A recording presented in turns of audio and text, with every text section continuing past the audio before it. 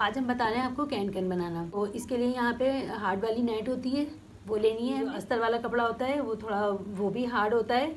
या आप कोई भी कपड़ा ले सकते हैं, कॉटन, रेशमी, जो भी जिस पर बनाना चाहते हैं। तो यहाँ पे हमने छोटे बच्चे के लिए कैन कैन बनाएँगे। तो हमारे पास यहाँ पे एक गज़ कपड़ा ये अस्तर वाला है। हमारे पास तकरीबन ये डेढ़ गज़ कपड़ा नेट वाला है। तो इसकी हम पट्टियाँ कट कर लेंगे और यहाँ पे इनको हम इस तरह लगाएँगे और ये फ्रेले बना देंगे इसके अंदर। तो चलें हम फिर इसको बनाना स्टार्ट करते हैं।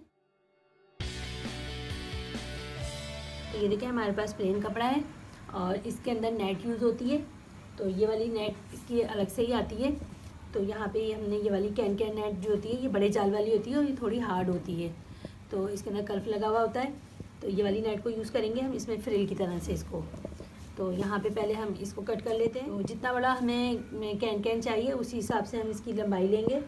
तो यहाँ मुझे चाहिए अट्ठारह इंच तो अट्ठारह इंच का हम इस तरह से निकालेंगे इसको।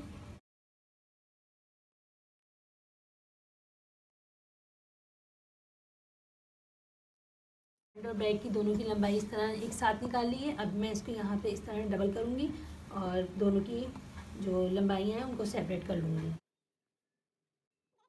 मेरे पास नेट है तो यहाँ ये इस नेट को मैं पहले तो हम इसको सीधा कर लेते हैं। कपड़ा है, उतनी ज़्यादा इसमें फ्रीले लगा लें। आपको जितना ज़्यादा फ्रीले लगी हुई होंगी, उतना ही ज़्यादा ये फुला हुआ होगा। अगर आपको शरारे में लगाना है तो यहाँ पे इसमें बेल्ट लगा लें। आपको फ्रॉक में लगाना है तो इसको यहाँ नीचे घेर में तैयार करने के बाद इसके फ्रॉक के घेर के साथ इसको ज्वाइन कर सकते हैं। इसके पहले मैं पट्टियाँ कटिंग कर लेती हूँ। तरह से हमने डबल किया। तो ये एक साइड की होंगी और इसी तरह ये इसको भी कटिंग कर लेते हैं। पूरा फुल रख रही हूँ। तो यहाँ पे हम इसको इस तरह चुने देते जाएँगे। देके इसको लगा देंगे इसके साथ। इसमें चुने रफ तरीके से दे सकते हैं। हम कोई ज़रूरी नहीं है कि इसको, इसकी चुने हम मेजर करके दें या बराबर से डालें। तो इसको हम रफ तरीके से भी लगा सकते हैं। प्लास्टिक लगाएँगे तो ये हमारा शरारे के नीचे पहनने वाला कैन कैन हो जाएगा। फ्रॉक में लगा रहे हैं तो यहाँ बॉडी के साथ हम इसको यहाँ से ज्वाइन कर देंगे तो ये हमारा फ्रॉक में भी लग जाएगा। तो इसका मकसद यही होता है कि दोनों में फुलाना। तो जितनी हमें यहाँ पे फ्रील लगेंगी हमारी तो इतना ही ज़्यादा ये फूला हुआ होगा। इस तरह हम ये अपना कैन तैयार कर सकते हैं। तो हमें यहाँ पे देखें इस तरह से सेंटर के एरिया में दो फ्रिलें लगानी है। तो एक इस तरह मैंने यहाँ पे निशान लगाया है। आप बस बिल्कुल सेंटर का एरिया बना लें। यहाँ ऊपर नहीं लगानी है ऊपर से गैप दे के लगाना है।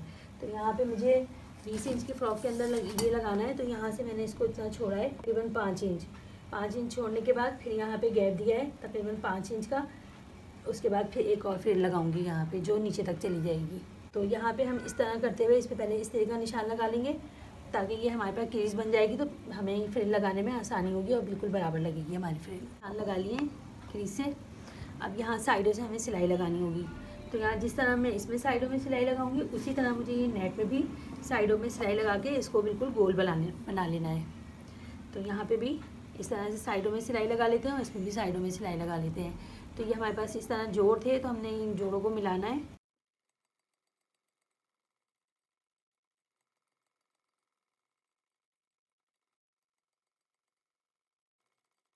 ये देखिए, मैंने इसमें सब में साइडों की सिलाइयाँ लगा ली हैं और हम इसको इस तरह सीधा करेंगे और यहाँ साइड से रखते हुए इस तरह इसको रख के लगाएँगे। एक इस लाइन पे लगा देंगे, यानी दो लाइनें लगाई थी मैंने, एक ये एक ये।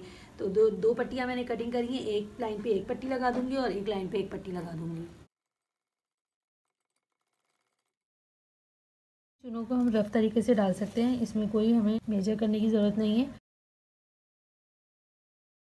तो ये देखिए, जो मैंने इस तरीके से क्रीज डाली थी तो एक एक पे हमने ये इस तरह फ्रिल लगा ली है और इस फ्रिल की सिलाई हमने यहाँ पे, यहाँ से थोड़ी लंबी रखी है और यहाँ से थोड़ी छोटी रखी है। तो अब मैं इसको इस तरह इसके ऊपर टर्न करूँगी तो ये हमारी डबल फ्रिल हो जाएगी और यहाँ पर सिलाई लगा दूँगी ताकि ये फिक्स हो जाए इसके साथ। तो चाहती तो मैं दो भी लगा सकती थी, लेकिन मुझे ये ज़्यादा तरीका आसान लगा कि एक ही पट्टी को हम यहाँ इस तरह सिलाई लगा के लगाएँगे तो ये ज़्यादा आसानी से लग जाएगी हमारी। तो इसी तरह जब दूसरी वाली लगाऊँगी तो दूसरी वाली को भी बिल्कुल इसी तरह लगाऊँगी तो ये जितना ज़्यादा फ्रीले होती हैं उतना ज़्यादा फूला हुआ होता है ये। यहाँ पे इसकी हम सिलाई लगा लेते हैं इसमें भी।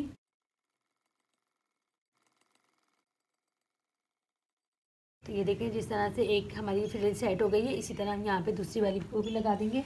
अब जब हम दूसरी वाली लगाएँगे तो ये हमारी थोड़ी सी इसके ऊपर गिरती हुई आएगी। ये वाली फ्रिल के ऊपर गिरती हुई आएगी और ये जो हमने क्रीज़ डाली थी यहाँ पे इस तरीके से इस क्रीज़ के साथ साथ हम यहाँ सिलाई लगा लेंगे इसमें।